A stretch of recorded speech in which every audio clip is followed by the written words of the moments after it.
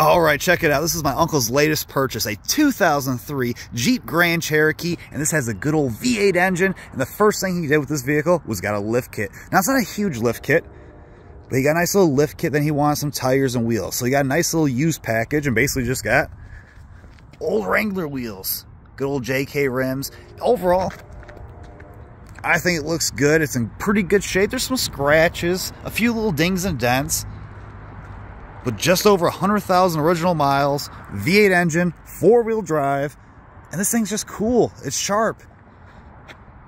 And I think overall, it's a sweet vehicle for less than four grand. I don't think you can do any better, but let me know in the comments below what you think of this vehicle and do you want to see more content on it. Let me know all your thoughts and opinions down below.